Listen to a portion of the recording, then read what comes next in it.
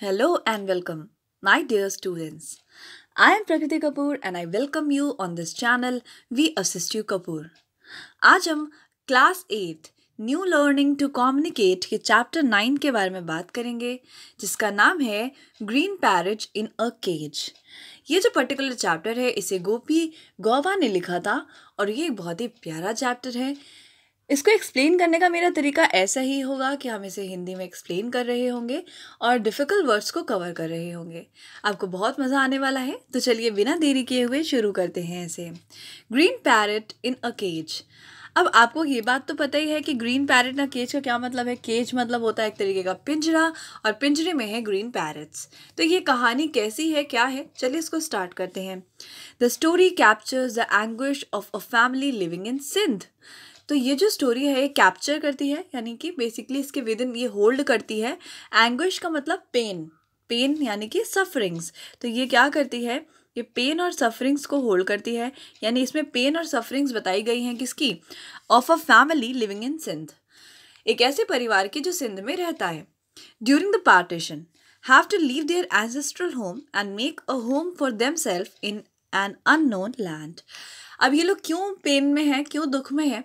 तो रीज़न उसका ये है कि इस परिवार को, ये सिंध में रहता था, लेकिन इस परिवार को फाइनली पार्टीशन पार्टीशन के टाइम पर जब पार्टीशन हो रहा है इंडिया का पार्टीशन इंडिया पाकिस्तान का पार्टीशन हो रहा था, उस समय इन्हें अपनी जो एंसेस्ट्रल का मतलब होता है पेरेंटल है ना? अपने पेरेंटल जो ज़मीन है, उसे छोड़ के जाना पड़ रहा है पेरेंटल होम को छोड़ के जाना पड़ रहा है पेरेंटल होम को पेरेंटल ज़मीन को, घर को छोड़ के इनको फाइनली जाना पड़ रहा है। और कहाँ जाना पड़ रहा है? एक अननोन लैंड में, एक अजीब से अननोन जगह पर। There is a parallel story of a parrot in a cage who long for freedom but when the door of their cage is open what do they they do तो यहाँ पर साथ ही साथ एक परिवार और उसी के साथ एक पैरट की स्टोरी है कि जिस तरह से परिवार को भी आज़ादी चाहिए थी मतलब भारत के लोगों को भी आज़ादी चाहिए थी। उसी तरीके से पेरेंट्स जो कि पिंजरे में है, उनको भी आज़ादी चाहिए। लेकिन जब आज़ादी मिली तो सबको दुख ज़्यादा हुआ। खुशी कम हुई और दुख ज़्यादा हुआ। क्योंकि जब हमें आज़ादी मिली तो पार्टीशन हुआ। कई लोगों के घर टूट गए, अपने घर छोड़ने पड़े। कुछ पाकिस्तान रह गए, कुछ यहाँ रह गए, परिवार अलग हो गए कितने सारे। इसके कारण हमें यहाँ पर ये समझ में आया कि एक्चुअल में आज़ादी फ्रीडम को हम लॉन्ग तो करते हैं, लेकिन जब वो मिलती है तो हम किस तरीके से उसके प्रति बिहेव करते हैं, ये हमें स्टोरी के विदिन बताया जा रहा है। तो चलिए इसको पढ़ते हैं, क्या लिखा हुआ है? A man wearing large turban stood at the gate he had two parrots for sale तो एक आदमी टर्बन का मतलब क्या होता है? टर्बन का मतलब होता है पगड़ी।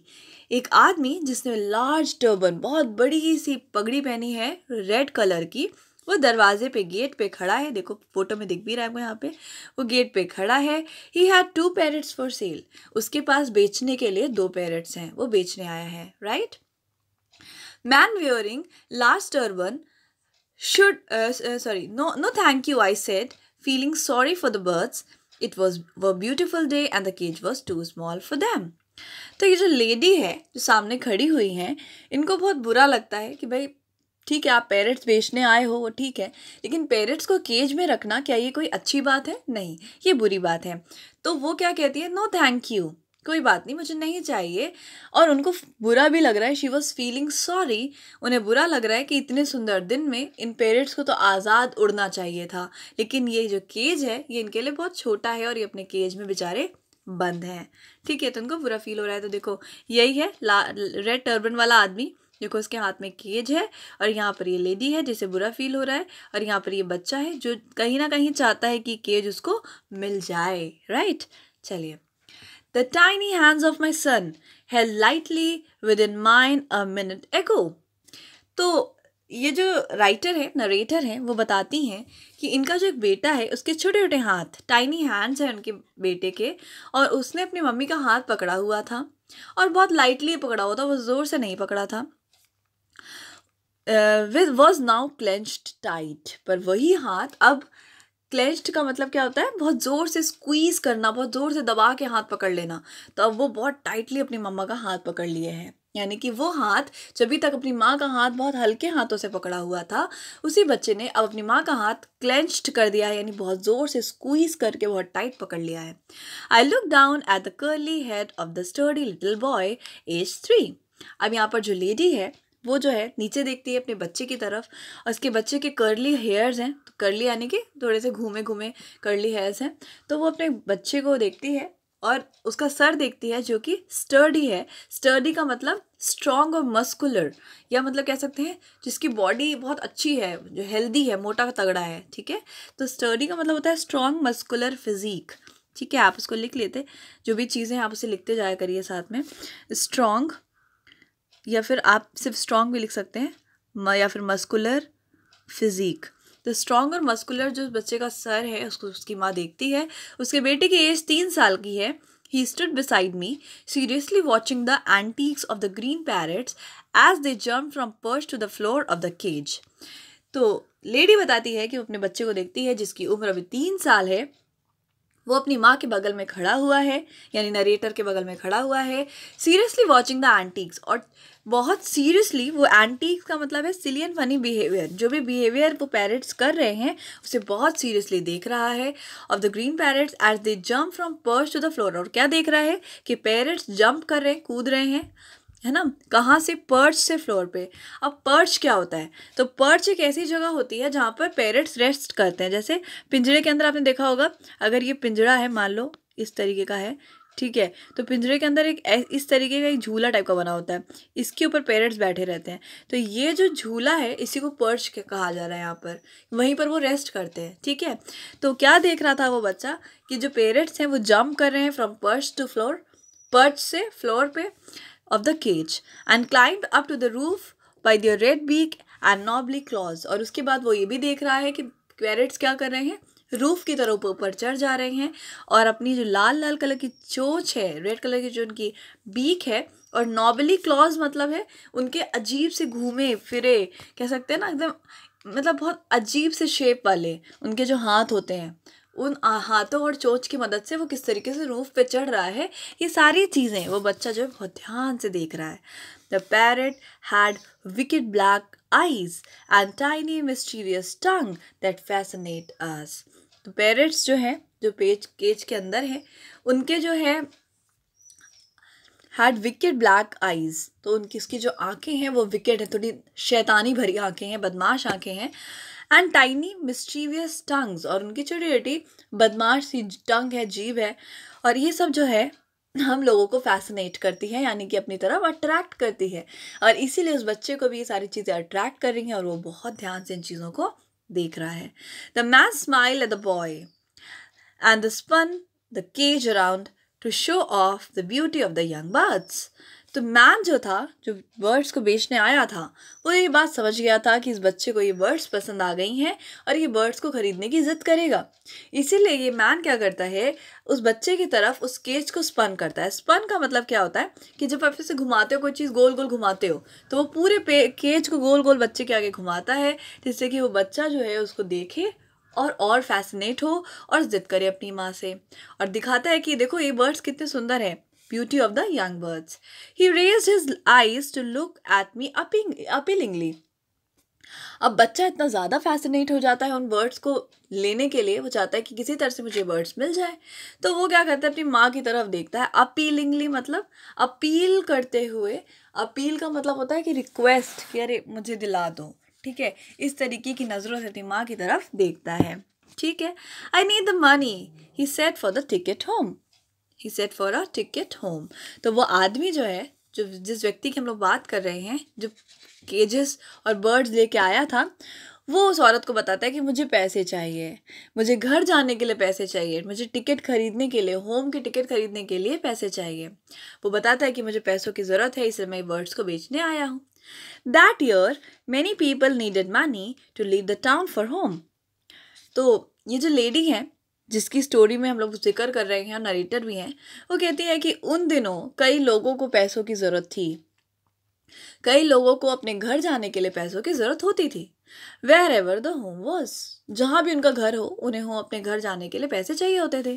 From the cut of his homespun clothes I guessed that the man's home was probably Kutch not far from Hyderabad Sindh तो यहाँ पर वो लेडी उस आदमी को ध्यान से देखती है कि वो जिस तरीके के कपड़े पहना हुआ है, वो होम स्पन क्लॉथ्स हैं, यानी घर में बिने हुए स्पिन, घर में बिने हुए वो कपड़े हैं और ये लेडी गैस करती हैं कि ये आदमी का घर कहाँ होगा? कच्छ में होगा।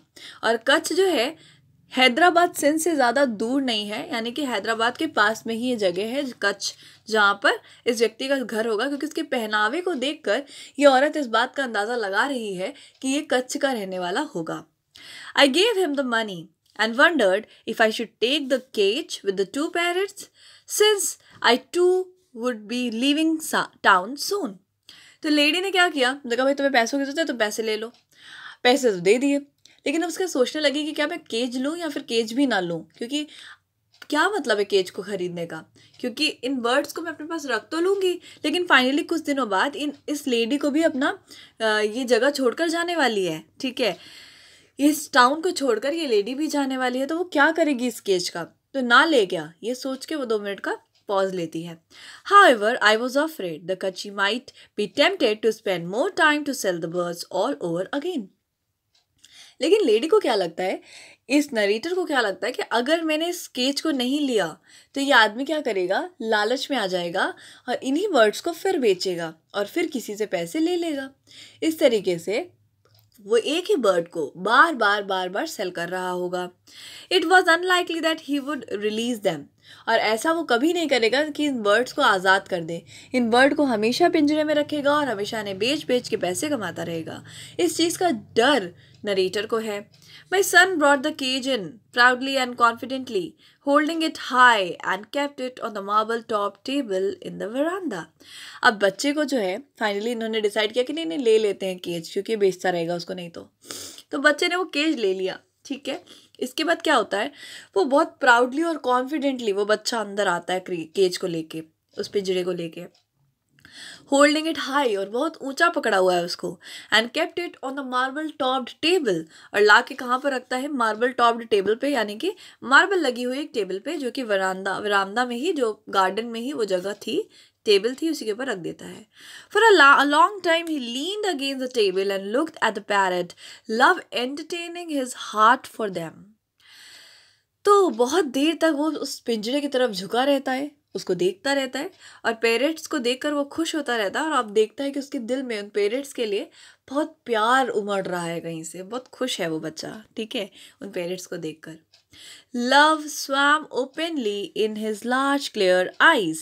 He watched me feed the birds with green chilies and ripe guava, filled the small bowl with water. I barely saved my finger being nipped by the sharp beak, and I was blowing on my skin of my knuckles, calling the parrots few unpleasant names, when my son, surprised at my shocked reaction and my language, offered him podgy little finger. तो होता क्या है कि वो बच्चा है उसे parents से इतना प्यार हो रहा है कि उसकी आँखों में वो प्यार जो है साफ़ नज़र आ रहा है। बड़ी बड़ी आँखें हैं और उसमें प्यार साफ़ नज़र आ रहा है। ही वॉच मी फ़ीड और वो अपनी माँ को देख रहा है कि किस तरह से उनकी माँ उनको ग्रीन चिलीज़ और खट्टे अमरूद खिला रही है और कैसे उसकी माँ पानी भर के एक बाउल में पानी रख के उनके पास रख रही है। ये सब चीज़ें जब वो नरेटर कर रही थी, उसी समय पेरेंट्स, क्योंकि उनको जानता नहीं है तो पेरेंट्स क्या करता है, उनको कट, उनके उंगलियों के बीच में, जो आपकी दो उंगलियों का जुड़ा हुआ जुड़ा हुआ पोर्शन होता है नीचे की तरफ़, जो आपके हाथ से कनेक्ट करता है, वो होते हैं नकल्स और वो क्या करता है निब्ड का मतलब क्या होता है, काट लेता है ज़ोर से. तो वो क्या करता है, काट लेता है उनकी नकल्स पे, और जैसे वो काटता है तो बहुत तेज़ चोट लगती है नरेटर को तो वो क्या करती है, फूकने लगती है, जैसे ना ऐसे करके फूकते हैं ना, कि कोई चोट लग जाती है तो तो वो फूकने लगती है। और साथ ही साथ वो जो पैरट्स हैं, उनको कुछ बुरा भला बोलती है कि, अरे यार, काट लिया, कितने बुरे हैं ये पैरट्स कुछ बोल देती है बुरा सा। जब वो ये सारी चीज़ें देखता है, बच्चा, छोटा बच्चा, ये सारी चीज़ें देखता है तो उसे बड़ा अजीब सा महसूस होता है। वो अपनी माँ को देखता है और उसके शॉक्ड रिएक्शन को देखता है और उसकी लैंग्वेज को देखता है तो उसे लगता है कि मेरी माँ जो है पेरेंट से प्यार नहीं करती। क्योंकि जब वो पेरेंट से प्यार नहीं करती है तो मुझे ही उनसे प्यार करना पड़ेगा। तो वो क्या करता है, अपनी पौजी लिटिल फिंगर पौजी का मतलब होता है एक अच्छी सी, मोटी सी, सुंदर सी, प्यारी हैवी एकदम जैसे गद्देदार, मोटी फिंगर अपने पेरेंट्स को दे देता है कि लो, तुम मेरी मेरी उंगली काट लो। माँ की उंगली काट रहे हो तो माँ उल्टा सीधा कह रही है तो मेरी उंगली काट लो, दे देता है अपनी उंगली। अब जैसे दे देता है तो पेरेंट्स तो काट भी लेते हैं, उनको तो पता नहीं हो, वो तो बेचारे भोले हैं, वो तो काट भी लेते हैं उसकी उंगली। और जैसे ही काट लेते हैं, उसकी उंगली से ब्लड निकलने लगता है। While I dressed and bandaged his finger, I explained the anger of the little green parents imprisoned inside a small cage. इसके बाद अब उसकी माँ जो है देखती है कि उंगली काट ली पेरेंट्स ने तो उसके ब्लड निकल रहा है तो अपने बच्चे का क्या करने लगती है? बैंडेज लगाने लगती है ड्रेसिंग करने लगती है। वो करते करते लेडी बताती है अपने बच्चे को कि ये पेरेंट्स इतना गुस्सा क्यों है? देखो कोई भी किसी को भी अगर आप केज में रखोगे किसी को भी आप पिंजरे में रख दोगे तो वो गुस्सा तो होंगे ही ये बात वो अपने बच्चे को समझाने की कोशिश करती है my son heard me and understood the meaning of my words but such pleading trembled on, on the young face that postponed my idea of going up to the terrace to open the cage door. It was already late afternoon and that, that there would be cats about the place my mother warned me. अब क्या होता है, जब उसकी माँ ये सारी बातें बच्चे को बताती हैं तो वो बहुत ध्यान से सुनता है इन बातों को। और इन बातों के मतलब को भी समझ जाता है। मतलब क्या था? मतलब इसका ये था कि आप उसको केज में मत रखो, इसे जो है आज़ाद कर दो, यानी इन केजेस को खोल के पेरेंट्स को उड़ा दो। यही कहना चाहती थी वो लेडी है ना? तो बच्चा ये बात समझ गया था, लेकिन वो चाहता नहीं था कि वो वर्ड्स को जाने दे। तो वो क्या करता है? प्लीडिंग करने लगता है। प्लीडिंग यानी कि बहुत ज़्यादा रिक्वेस्ट ट्रेम्बल्ड मतलब कि बहुत टेंशन में कांपने लगता है। प्लीड करके कि नहीं नहीं नहीं नहीं प्लीज़ अभी मत इसको जाने मत दो वर्ड्स को आज़ाद मत करो, क्योंकि मैं अपने पास वर्ड्स को रखना चाहता हूँ। बच्चे के ऐसे रिएक्शंस को देखने के बाद नरेटर ये डिसाइड करती है कि चलो इस आइडिया को पोस्टपोन कर दिया जाए। पोस्टपोन का मतलब होता है डिले कर देना। किसी चीज़ को डिले कर देना, क्या कहलाता है? पोस्टपोन। तो वो क्या करती है? इस आइडिया को डिले कर देती है। D E L A Y लिख ही नहीं रहा पता नहीं क्यों? हाँ। तो ये क्या करती है? अपने आइडिया को डिले कर देती है। और वो ये भी सोचती है कि दोपहर का टाइम है। अगर मैं ऊपर जाकर केज खोल के इनको उड़ा दूँगी आज़ाद कर दूँगी। तो ये सेफ़ भी नहीं होगा क्योंकि कैट्स होती हैं और कैट क्या करेंगी? इसको खा लेंगी। नरेटर की माँ ने उसको वार्निंग दी थी कि कैट्स भी हैं यहाँ पर। तो आज़ाद करना इस तरीके से ठीक नहीं रहेगा। The only tree in the side grew in the compound of the mosque across the narrow lane अब ये लेडी सोच रही तो इन इन पेरेंट्स को कहाँ पर छोड़ा जाए? तो उसके दिमाग में आता है कि पास में सिर्फ़ एक ही पेड़ है, जो कि अपने कंपाउंड मॉस्क मॉस्क यानी कि मस्जिद मस्जिद के कंपाउंड में है। बहुत नैरो सी लेन में।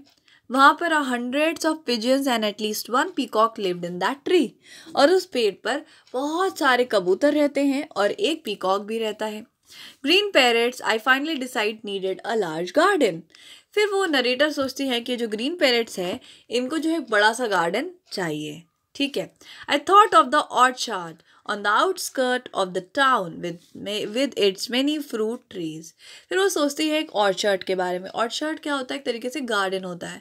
तो वो जो गार्डन है, वो शहर से थोड़ा बाहर है। आउटस्कर्ट का मतलब है शहर से बाहर है। टाउन के बाहर है वो। वहाँ पर बहुत सारे फ्रूट ट्रीज़ हैं, बहुत सारे फलों के पेड़ हैं। एक छोटा सा पॉन्ड है जहाँ पे डक्स भी रहती हैं और एक पुराना गार्डनर भी रहता है, जिसका नाम है Ramai. Who special hobby was to look after the birds and frighten away the marauding crows and kites जिसका जो हॉबी है, रमाई का हॉबी क्या है? कि उसकी हॉबी है कि जो बर्ड्स हैं, उनका देखभाल करना। जो गार्डन में जितनी भी बर्ड्स रहती हैं, उनको देखभाल करना। और जो मारूडिंग क्रोज हैं मारूडिंग क्रोज क्या होता है? मतलब कि ऐसे क्रोज जो खाना ढूँढने के लिए मारूडिंग यानी the crows that come for searching the food तो इस खाना ढूँढने के लिए जो क्रोज आते हैं, उनको डरा डरा के भगाता है ये Ramai. It was a month before I could go to the orchard the situation outside was still somewhat tense they told me तो एक महीने पहले की बात है कि लेडी उस ऑर्चार्ड में गई थी। यानी उस ऑर्चार्ड में वो एक महीने पहले गई थी। The situation outside was still somewhat tensed और बाहर जो सिचुएशन है, अभी भी टेंस है। यानी पार्टीशन होने वाला है, या जो भी चीज़ें हो रही हैं अंग्रेज़ कंट्री में है, इस कारण से सिचुएशन टेंस्ड है, ठीक है? तो बाहर की सिचुएशन अब भी टेंस्ड है तो वो इसलिए वहाँ पर नहीं जाती थी। I was confident that our horse carriage was well known in the city लेकिन अभी उन पेरेंट्स को छोड़ने के लिए उन्हें बाहर जाना पड़ेगा। और यहाँ पर ये जो लेडी है, इस बात को लेकर बहुत कॉन्फिडेंस उनके अंदर है, बहुत कंफर्म है कि ये जो इनका घोड़ा गाड़ी है, जिससे ये ट्रैवल करती है, इस घोड़े गाड़ी को हर कोई जानता है। मतलब लोग इनको पहचानते हैं कि ये किसकी घोड़ा घोड़ा गाड़ी है। I must have driven over that a bit of routes innumerable times तो ऑथर कहती हैं नरीटा कहती हैं कि वो इनन्यूमरेबल टाइम्स यानी बहुत ही बार वो इस घोड़ा गाड़ी को चलाकर बाहर निकली हैं। इसलिए हर कोई उनको जानता है। And knew every house and shopkeeper on the way वो हर घर को और हर दुकान वाले को रास्ते में अच्छे से पहचानती हैं और उनको भी हर कोई पहचानता है। I was sure No one could possibly want to hurt a young, visibly pregnant woman traveling with a small son and two parrots in a cage. तो लेडी कहती है कि मुझे भरोसा है कि कोई भी हमें नुकसान नहीं पहुंचाएगा। हालाँकि सिचुएशन बाहर बहुत टेंस्ड है लेकिन कोई भी इंसान एक प्रेग्नेंट वुमेन को ये लेडी प्रेग्नेंट है इनको बेबी होने वाला है एक प्रेग्नेंट वुमेन को जिसके साथ एक छोटा सा बच्चा हो और टू पेरेंट्स हो इसको कोई नुकसान नहीं पहुंचाएगा। तो ये बाहर जा सकती हैं ये सोच रही हैं ये ठीक है? However, Deen Mohammed, who had been with us uh, a long time, refused to take the risk. He insisted that the orchard was too far out of the town, being situated on the other side of the river Fuleli. तो यहाँ पर क्या होता है ये दीन मोहम्मद एक व्यक्ति हैं उससे कहती है कि चलो, तुम जो हो, तुम ही हमें ले चलो वहाँ पर।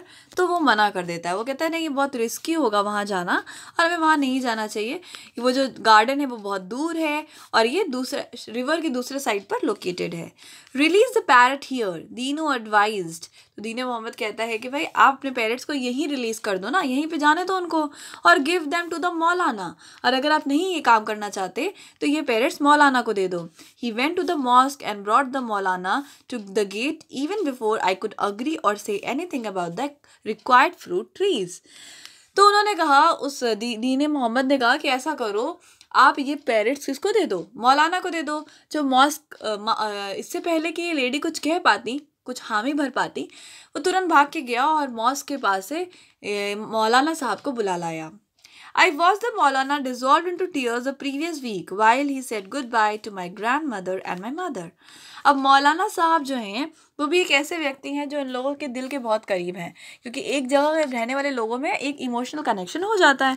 तो जो मौलाना साहब हैं, वो एक ऐसे व्यक्ति हैं जो क्या करते हैं, पिछले पिछले ही कुछ हफ्तों की बात है या पिछले ही हफ़्ते की बात है कि मौलाना साहब की आँखों में एकदम आँसू आ गए थे जब इन्होंने अपनी नरेटर की माँ और दादी को गुड बाय कहा था। जब वो लोग घर छोड़ के जा रही थी, यहाँ से शिफ्ट हो रही थी तो इनको बहुत तकलीफ़ हो रही थी और इनकी आँखों में आँसू आ गए थे। यानी कि यहाँ पर हमें ये बताने की कोशिश की जा रही है कि मौलाना साहब इस फैमिली से कितना ज़्यादा जुड़े हुए हैं, कितना ज़्यादा कनेक्टेड हैं। While he said goodbye to my mother है। Grand uh, grandmother.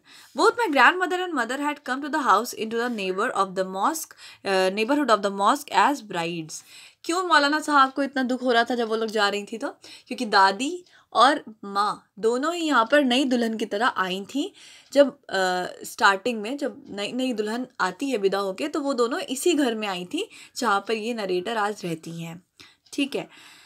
Now they really they were leaving going across the border to make new homes on the other side और आज वो अपने ससुराल छोड़ के, अपना घर छोड़ के, एक दूसरी तरफ़ जाके अपना घर बनाने वाली हैं। तो ये बात बहुत दुखद थी और मौला, मौलाना साहब को ये गम बहुत दुखद लग रहा था, इसलिए वो रोने लग गए थे पिछले हफ़्ते। The Maulana did not weep as he said goodbye to me लेकिन जब मौलाना ने इनको गुड बाय कहा नरेटर को राइटर को, तब उन्हें रोना नहीं आया।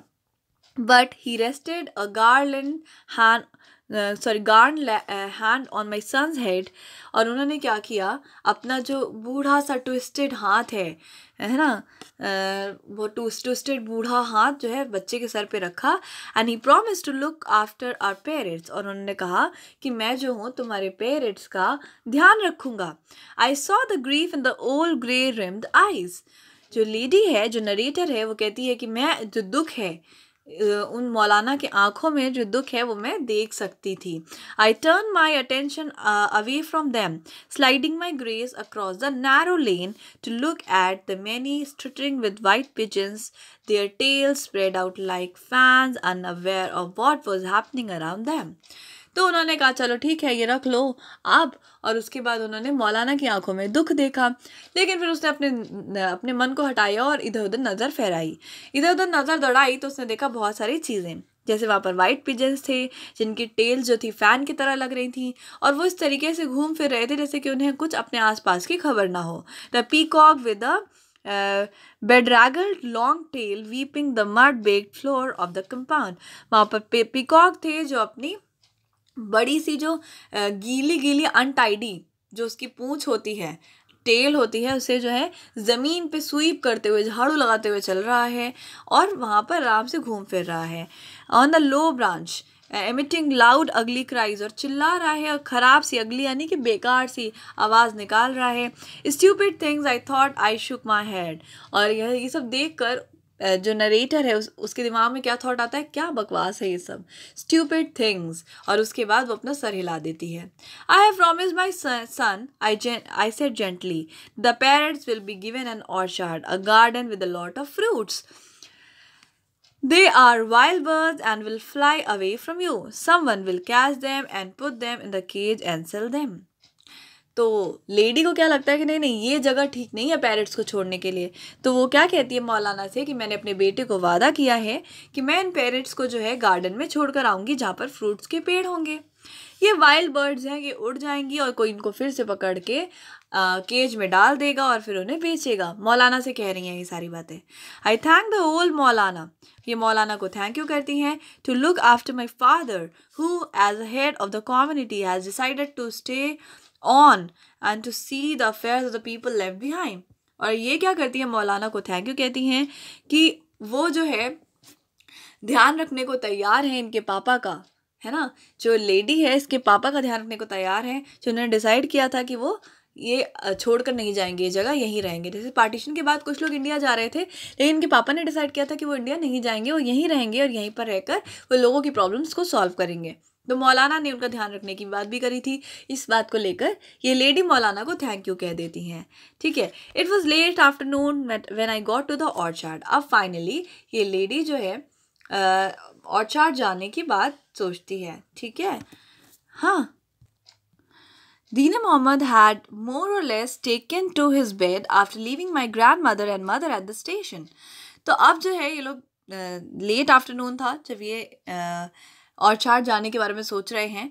और ये जो हमारी नरेटर हैं, ये हमें बता रही हैं कि जो दीन मोहम्मद है, जिन्होंने इनको मना कर दिया था ले जाने से, उसके बारे में बता रही हैं कि वो लगभग शायद वो बेड रेस्ट पे है कि क्या है आई डोंट नो लेकिन जब से वो नरेटर की ग्रैंड मदर और मदर को स्टेशन छोड़कर आया है, एक and could not bring himself to the sit sit the coachman seat तब से वो इस गाड़ी को चलाने के लिए कोचमैन सीट पे नहीं बैठा है।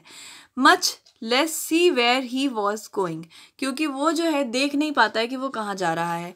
द टीयर्स के kept coming into his eyes and impairing his efficiency क्यों वो उसने गाड़ी चलाना छोड़ दिया? उसने इनकी घोड़ा घोड़ा गाड़ी चलाता था, लेकिन पिछले हफ़्ते जब वो उनकी दादी और नानी को, दादी और माँ को छोड़कर आया स्टेशन उसके बाद से वो इस गाड़ी पर नहीं बैठा है और वो गाड़ी को नहीं चलाना चाहता।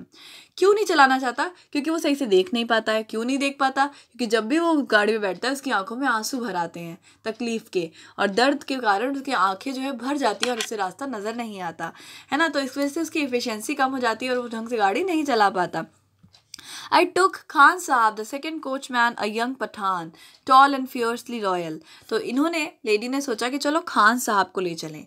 खान साहब जो है इनके सेकंड कोचमैन है। जब जब दीन मोहम्मद नहीं जाता तो खान साहब को ये लोग अक्सर अप्रोच करते थे। ठीक है, ये टॉल एंड फियर्सली लॉयल ये लंबा और बहुत लॉयल व्यक्ति है, पठान है। He drove the carriage at an even fast pace his eye eyes alert और वो उस कैरेज को बहुत तेज़ चलाता है और अपनी आँखों को जो एकदम अलर्ट रखता है। ठीक है my son sat on his lap and kept up conversation full of gurgling laughter तो इसका जो बेटा है नरेटर का वो क्या करता है? इस पठान के पास इसकी गोदी में बैठ जाता है। जब तक वो पठान गाड़ी चला रहा है, बच्चा गोदी में बैठा हुआ है और खूब ज़ोर ज़ोर से उनसे बातें करके हंस रहा है। गर्गलिंग लाफ्टर यानी कि ज़ोर ज़ोर से हंसने की आवाज़ें निकाल रहा है, हंस रहा है। I looked about uh, I looked about me at the familiar landmarks, filling my eyes with them.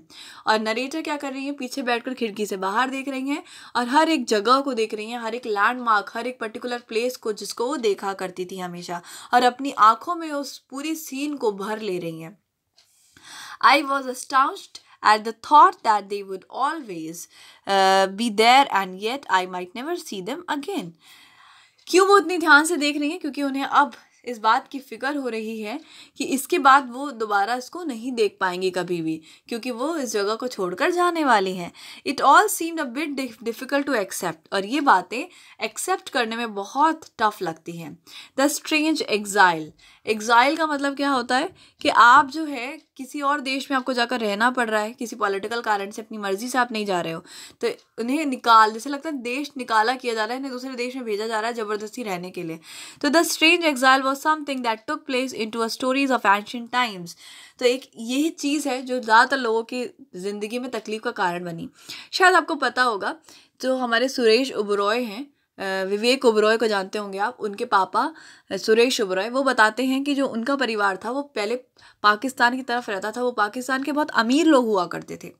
Finally वो क्या करते हैं, वो छोड़कर अपना जब पार्टीशन होता है तो भाग के इंडिया आते हैं। तो उनका घर, परिवार, उनका सारा बिल्डिंग सब वही रह जाता है और इंडिया आके वो बहुत गरीब हो जाते हैं। तो इस तरीके के बहुत सारे दुख थे उस टाइम उस सिनेरियो में, ठीक है? Ancient time told to children by grandmother on the cosy winter's evening beside the fireside तो ये जो एक ऐसी चीज़ है, एक ऐसे फीलिंग है, जिसके बारे में अक्सर पुराने ज़माने की कहानियों में स्टोरीज़ में, दादियाँ अपने बच्चों को ग्रैंड फादर ग्रैंड चाइल्ड को ये सारी चीज़ें बताया करती होंगी। ठीक है? मतलब कि स्टोरीज़ में जैसा होता था, उस तरीके की चीज़ें इन लोग के साथ रियल में हो रही हैं। The gate of the orchard was open when we reached तो जब ये लोग पहुँचे तो ऑर्चर्ड का गेट खुला हुआ था। There was no one about वहाँ कोई भी नहीं था। We my son Khan sahab and I call out the gardener's name तो इन तीनों ने मिलकर गार्डनर के नाम को बुलाया। गार्डनर का नाम क्या था? रमाई रमाई वी क्राइड अरे Ramai where have you gone we were answered by a heavy silence तो क्या था? ये लोग रामाई को बुला रहे थे और रामाई पता नहीं कहाँ चला गया था, उसकी आवाज़ नहीं आ रही थी और इनको जो है कोई जवाब नहीं मिल रहा था, बल्कि इनकी आवाज़ ही गूंज रही होगी उल्टा। The late sun slanted across the lawns and partly lit some of the trees as in the painting तो सीनरी डिस्क्राइब कर रही हैं यहाँ पर। नरेटर कह रही हैं कि स्लैंटिंग सन की जो रेज हैं वो पड़ रही हैं और जो जो ट्रीज़ हैं उनके ऊपर इस तरीके से रोशनी पड़ रही है, जैसे कि कोई पेंटिंग बनी हुई हो। For a long minute I stare around my around me trying not to mind the operation of the silence एक पल के लिए फॉर अ मिनट जो ये जो लेडी है, वो इधर उधर देखती है और वो देखती है कि किसी भी तरह से मुझे जो है इस पर ध्यान नहीं देना है कि यहाँ पर कितना ज़्यादा क्रूअल और कितना कितना जंगल जैसा माहौल है, इस पर ध्यान नहीं देना है। और यहाँ पर इतनी शांति है, इस बात पर ध्यान नहीं देना है। Fighting the madness that we that was beginning to overwhelm me, I dropped to my knees and placed the palm of my hand on the green grass. It was not easy. तो यहाँ पर क्या होता है? वो जो है बहुत ज़्यादा इस चीज़ के ऊपर ये फीलिंग ओवरवेम हो रही है इनके ऊपर बहुत ज़्यादा इनके ऊपर ओवर पार कर रही है। इन्हें थोड़ा सा डर भी लग रहा है। लेकिन वो जो है क्या करती हैं? अपने आप को घुटने पर बैठ जाती हैं अपने बच्चे का हाथ जो है ग्रीन ग्रास पे रखती है। Placed the palms of my hands अपने हाथ को नीचे की घास पर रखती हैं। It was not easy merely looking at the sure beauty of the place made be want to री और ये जो था, ये चीज़ उनके लिए बहुत डिफ़िकल्ट है क्योंकि इस जगह की जो ब्यूटी है है ना, ये उनको रोने पे मजबूर कर रही है। ठीक है? माँ said my son come to stand in front of me his plump hands flat on my wet cheeks you said the parrot will jump with joy the sight of the fruit trees तो क्या होता है? बच्चा जो होता है, वो भी खड़ा होता है। वो अपनी माँ के पास आता है और कहता है, माँ के पास आके अपने मोटे मोटे जो प्लम्प प्लम्प यानी कि एकदम अच्छे मोटे गुदगुदे हाथ जो है, अपनी माँ के गालों पे रखता है। उसकी माँ के आँखों में आँसू हैं, उसके गाल गीले हो चुके हैं, लेकिन वो अपनी माँ के गालों पे रखता है और कहता है कि, माँ, तुमने तो कहा था कि जब पेरेंट्स को हम आज़ाद करेंगे तो वो खुशी से कूद उठेंगे, खुद खुशी से जम करने लगेंगे, जब उन्हें फ्रूट ट्री मिलेगा। Yes son I replied and I got up to put the cage in the centre of the lawn तो उन्होंने कहा कि हाँ हाँ मैंने कहा था, बेटे, मैंने कहा था। ये खुश होंगे, देखना बहुत खुश होंगे अभी। ठीक है? तो क्या होता है? कहती है कि हाँ मैंने कहा था, चलो चलो चलो, जल्दी से हम पेरेंट्स को वहाँ रख के आते हैं। तो वो क्या करती है? जाती है और जाकर बहुत carefully I open the tiny door afraid I might get nicked वो क्या करती है? छोटे से दरवाजे को खोलती है, पर डर भी उसको लग रहा है कि ये पेरेंट्स मुझे काट ना लें। But the birds sitting firmly on their perch stare at me पर जो बर्ड्स अपने पर्च पे बैठे हुए हैं पर्च मैंने बताया था ना आपको क्या होता है? अपने पर्च पे बैठे हुए हैं, वो जो है, इस नरेटर को ध्यान से देख रहे हैं। Cautiously blinking their white eyelids like wise old man और बहुत ध्यान से वो अपनी आँखों की पलके झपका रहे हैं, जैसे कि एक समझदार बूढ़ा व्यक्ति करता है। I brought my son to the edge of the lawn, from where we could see uh, we could watch the parrots fly out. और ये लोग क्या करते हैं केज को दूर रख के एक कोने में जाके खड़े हो जाते हैं, एक किनारे पे जाके खड़े हो जाते हैं, जिससे कि वो वहाँ से देख सकें कि पेरेंट्स किस तरीके से उड़ेंगे। We waited patiently for the long time कि बहुत देर तक इंतज़ार करते रहते हैं। The birds would not trust themselves to step out लेकिन क्या देखते हैं कि बर्ड्स बाहर ही नहीं निकल रहे हैं। वो अपने ऊपर भरोसा ही नहीं कर पा रहे हैं कि वो बाहर जा सकते हैं। They sat inside feeling safe within the familiarity of the bars वो जो है, उन जो कह सकते हैं। पिंजरे की से इतने ज़्यादा वाकिफ़ हो चुके हैं अब कि उन्हें वो पिंजरा सेफ़ लग रहा है। जबकि बर्ड्स की फितरत उड़ना होती है, लेकिन ये उड़ना भूल चुके हैं। इनके अंदर कहीं ना कहीं एक डर बैठ गया है। Like us they too waited in silence जैसे ये लोग शांति से इंतज़ार कर रहे हैं, वैसे पेरेंट्स भी शांति से इंतज़ार कर रहे हैं और बाहर नहीं निकल रहे। Time Uh, and again, I had seen one of the parrot knocked itself silly against the same bar in a vain attempt to break the cage open to the tear, open to tear the place down. तभी देखती है ये lady क्या देखती है कि एक जो पेरेट है उसने अपने आप नॉक कर लिया यानी अपने आप को अपने आप को ठोकर लगा ली एक पिंजरे की ही एक कह सकते हैं बाढ़ से यानी कि जो पिंजरे में चारों तरफ़ से लोहे का लगा रहता ना उसी से टकरा गया है क्यों क्यों टकरा गया? क्योंकि वो जो है केज को खोलने के केज को तोड़ने के फिराक में था और इसी कारण जो है वो आ, उसी से टकरा गया पिंजरे से। I wondered if I if like me she was pregnant and in desperate need to build a nest तो ये लेडी सोच रही है कि शायद वो पेरेंट जो है प्रेग्नेंट हो उसको भी बेबी होने वाला हो और उसको जो है एक नेस्ट की ज़रूरत हो।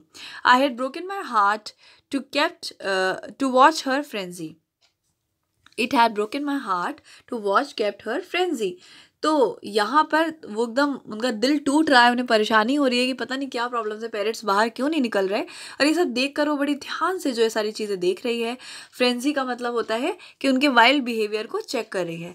I asked myself the parent could be born in the captivity within the narrow confine of the same uh, same of the small draughty cage, so intense had been her anguish, I had been afraid she might burst a blood vessels तो यहाँ पर वो और भी चीज़ें सोचने लग गई है लेडी सोच रही है कि अगर ये पेरेंट प्रेग्नेंट होगी और इसको बेबी होने वाला होगा तो एक बेबी जो है ऑलरेडी इसी इसी बॉल इस पिंजरे के अंदर ही जन्म ले लेगा। और ऐसा ना हो कि कोई दिक्कत हो जाए ऐसा ना हो ये जो प्रेग्नेंट पेरेंट है इसको कोई बीमारी या कोई परेशानी हो जाए तो क्या करें? ये सब सोच रही है और बड़ी ध्यान से देख रही है। ठीक है।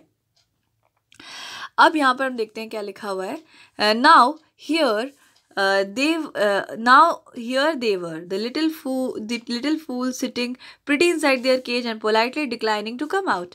अब यहाँ पर ये जो केजेस uh, हैं पैरट्स हैं वो केज के अंदर बैठे हुए हैं और ये बाहर भी नहीं निकल रहे। अपने आप को इतनी हिम्मत ही नहीं कर पा रहे कि बाहर निकल पाए। I raise my face skyward and saw to the amazement इन्होंने ऑथर ने ऊपर आसमान की तरफ़ देखा और ऊपर चीज़ें देखना शुरू कर दिया। Parrots hitherto hidden by the many-toned green foliage, sitting on the various branches of green tree made an excellent camouflage. अब क्या देख रही है वो? चारों तरफ़ बहुत सारे बर्ड्स हैं अलग अलग जगह पर छुपे हुए हैं अलग अलग पेड़ों पर बैठे हुए हैं और नरेटर जो है आँखें फेर कर सारी चीज़ों को देखने की कोशिश कर रही है। ठीक है। When I looked down against both the parrot had come out, one lingering beside the cage for possible shelter back in it at the first sign of danger. जैसे ही नरेटर इधर उधर देखती है तो वो क्या देखती है? कि पेरेंट दोनों पेरेट्स हिम्मत जुटाकर केज से बाहर निकल आए हैं। लेकिन वो केज के आसपास ही हैं। ये सोचकर कि जैसे ही कोई दिक्कत आएगी हम तुरंत केज के अंदर भाग जाएँगे। By the other the bolder one hopped off It must have been surprised at this new freedom of the moment, for it promptly stopped hopping and looked dazed as if hit heavily on his head. वो क्या करता है दूसरा वाला दो में से एक ब्रेव है बोल्ड है वो क्या करता है कूद कूद के आगे बढ़ता है आज़ादी को जीने के लिए है ना? लेकिन वो जो है, उसको थोड़ा सा डर भी है, कहीं ना कहीं उसे डर भी लग रहा है, लेकिन वो फिर भी कोशिश कर रहा है। I smile and heard my hand my son give a chuckle of delight तो उन्होंने कहा, चलो लोग कोशिश तो कर रहे हैं। ये देख कर दोनों एक दूसरे को खुशी से देखते हैं। अपनी बेटी की तरफ़ ही देखती है narrator the next minute the parent were gone और अगले ही पल पेरेंट्स गायब हो जाते हैं। It happened so quickly that to this day, when I try to recall the incident, I cannot make out how one moment they were there, distinct birds and friends of many week, weeks, and next month I could not see where they had gone. तो ये जो narrator हैं वो कहती हैं कि इतनी जल्दी वो उड़ के चले गए मैंने अपने बेटे को देखा और फटाक से वो उड़ गए इतनी जल्दी वो उड़ के चले गए कि एकदम से भरोसा करना बड़ा मुश्किल हो रहा था कि कैसे? मतलब अभी एक एक हफ़्ते से एक वो हमारे दोस्त थे, हमारे साथ थे, और अगले ही पल वो गायब हो गए और वो जो है बाकी बर्ड्स के साथ मिंगल्ड हो गए, यानी कि मिक्सड हो गए। बाकी लोगों के साथ मिक्स हो गए, बाकी बर्ड्स के साथ। With the leaves and other members of the tribe पेड़ों के बीच में छुप गए कि बाकी कहाँ चले गए? There was no farewell no parting तो उन्होंने ना कोई फेयरवेल किया, ना उन्होंने कोई गुड बाय किया और ये चुपचाप आराम से चले गए। Feeling sad and now really scared of the silence in the shadows that thickened with each passing second I took my son by the hand and hurried away तो यहाँ पर क्या होता है? इनको बुरा भी लग रहा है पेरेंट्स को भेजने का, लेकिन और रात का टाइम माहौल भी ऐसा है, बहुत शांति है। शेडोज़ बहुत परछाइयाँ पड़ रही हैं पेड़ों की और बहुत डरावना माहौल है। ये क्या करती हैं? जल्दी से अपने बच्चे का हाथ पकड़ती हैं और हर एक पल, अगला पल और अंधेरा हो रहा है। तो इनको डर भी लग रहा है तो ये बच्चे का हाथ पकड़ती है और जल्दी जल्दी जो है एम केज को एक आखिरी ग्लास देती हैं, आखिरी आखिरी लुक मारती हैं, आखिरी आखिरी बार देखती हैं। Halfway across the second lawn I gave in to my fear picked up the child began to run to our the waiting horse carriage और इनको इतना डर लग रहा है कि जल्दी से आखिरी नज़र मारने के बाद अपने बच्चे को गोदी में उठाती है और भागते हुए, दौड़ते हुए हॉर्स कैरेज की तरफ़ पहुँच जाती है। Suddenly I was glad to be out of the place for now the orchard was no longer a thing of beauty और वो बहुत खुश है कि फाइनली वो उस ऑर्चर्ड से बाहर निकल गई हैं, क्योंकि जो ऑर्चर्ड है, वो अब कोई भी खूबसूरत जगह नहीं लग रहा है। It became eerie and frightening eerie का मतलब ही होता है स्ट्रेंज और डरावना। तो ये बहुत डरावना लग रहा है वो ऑर्चार्ड अब। The foot the fruit trees did not house green parrots with laughing red beaks and twinkling black eyes but gobbing gobbling Ghosh that jeered and booed at us we sped on the driveway the horses hooves on the gravels तो यहाँ पर क्या होता है? वो कहती हैं कि अब यहाँ पर जो जगह है, यहाँ पर हमें जो है तुरंत यहाँ से चले जाना चाहिए कि फ्रूट ट्रीज जो है, ये अब पेरेंट्स का घर नहीं लग रहे, जबकि ये जो है हमें बहुत डरा रहे हैं, क्योंकि अब वहाँ का सिनेरियो माहौल बहुत डरावना हो चुका है। तो इस तरीके से ये लोग जो है भाग कर रिटर्न होते हैं वहाँ से। गोपी गौवा अपना एक्सपीरियंस बता रही है कि इस तरीके से जब आज़ादी मिलती है तो इंसान बाहर निकलने में डरता है, और जब आज़ादी नहीं होती तो उसी आज़ादी का इंतज़ार करता है। आई होप आप चैप्टर को बहुत अच्छे से समझ गए होंगे। वी असिस्ट यू कपूर, इस चैनल पर अगर आप पहली बार आए हैं तो सब्सक्राइब करके बेल आइकन प्रेस कर लीजिए, जिससे आने वाले वीडियोस के सभी नोटिफिकेशन आपको मिल जाए। वीडियो अच्छा लगा हो तो लाइक करके मुझे बताइए, और कोई क्वेरी हो तो कमेंट करके पूछ सकते हैं। Thank you so much and God bless you